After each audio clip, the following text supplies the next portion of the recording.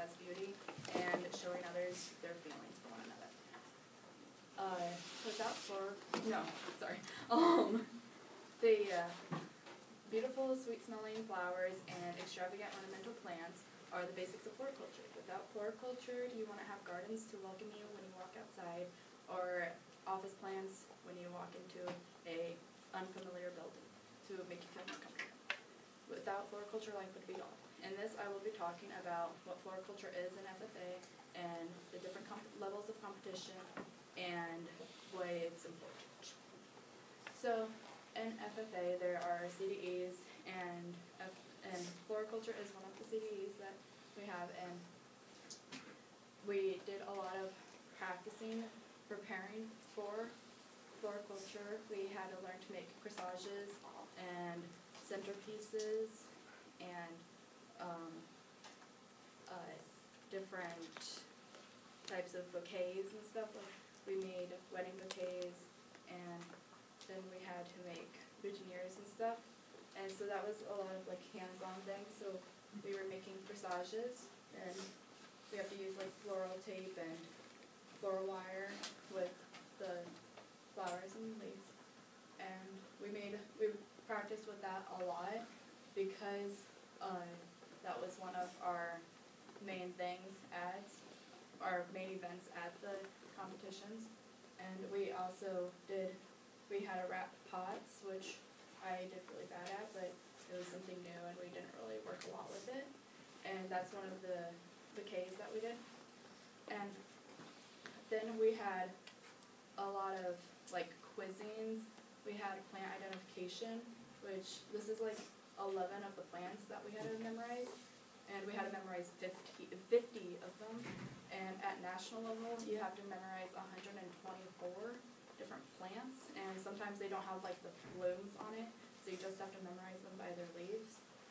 And uh, and there was general knowledge testing and uh, pesticide use and problem solving, which took a lot of time to do because the problems were like real life problems about like seeds and stuff, flowers, and then we have the competitions, which this was at district over on the left, and then districts we had three groups go, and we got fourth place. My group did, and then at this is state, and we got fifth place for state, and it was just us four. And then nationals is really hard to get to because it's like everybody, all the states combined. And two years ago, our chapter went to state, and this is the team that went, which is like Jacob, Amy, Abby, and Willa. But they went and they did really good as well.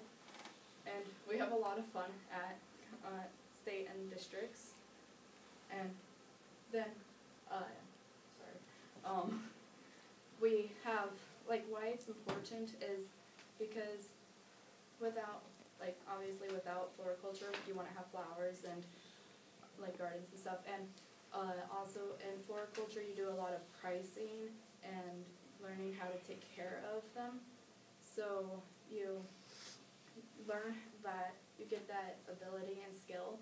So like even if you don't want to be like a florist or anything you still know how to do pricings and stuff for different things and just like general knowledge over taking care of a plant, which is full.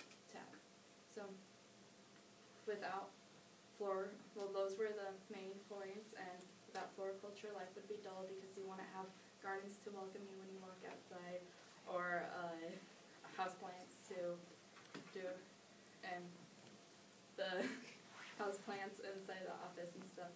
So for many years, they have been used. Thank you.